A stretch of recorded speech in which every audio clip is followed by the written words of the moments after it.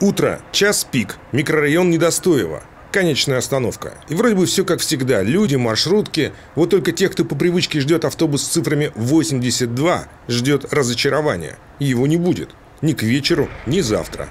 Причина банальна. У перевозчика закончился срок лицензии. Пятилетний на минуточку.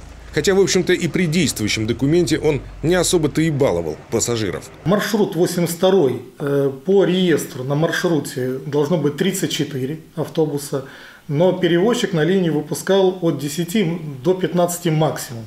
15 это максимальная, наверное, цифра, которая там была, а так и меньше 10. Понятно, что коммерсант пытался выжимать максимум, чтобы автобусы уходили под завязку, но при этом он жестко нарушал расписание, понятие интервал движения, по сути, не существовало. А еще этот товарищ обещал в 2019 году перейти на автобусы среднего класса. Получается, обманул? Да и к тому же сам маршрут 82, по сути, морально устарел. Так говорят сегодня специалисты, отвечающие за моделирование пассажиропотока. Маршрут номер 82 на 75% дублирует автобусный маршрут номер 30, троллейбусный маршрут номер 16, а также маршруты 32 а, и 62. Поэтому его изменение является целесообразным. Брешь в охвате всех микрорайонов в управлении транспорта решили закрыть через изменения в других маршрутах. Теперь и в Приокский, и в Недостоево заходят дополнительные автобусы. Так что разгонять через соцсети тему «мы не можем уехать из Недостоева» сегодня по меньшей мере глупо. ГЛОНАСС работает как часы. И эту позицию сегодня, что называется,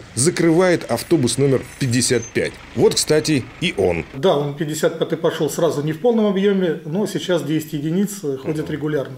И э, ходят э, добросовестно там, по расписанию.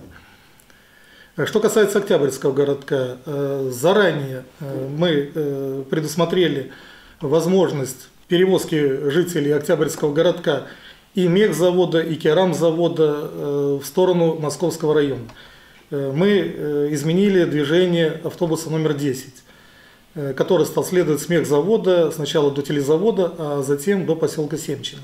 То жители Октябрьского городка могут воспользоваться этим автобусом с остановки Автомобильный институт. Что же касается 82-го маршрута, то пусть и с пересмотром схемы, но он все же вернется в транспортную модель города. Может быть, недели через две, как только юридически заберут его у предыдущего перевозчика. Максим Васильев, Михаил Лазуткин, телекомпания «Город».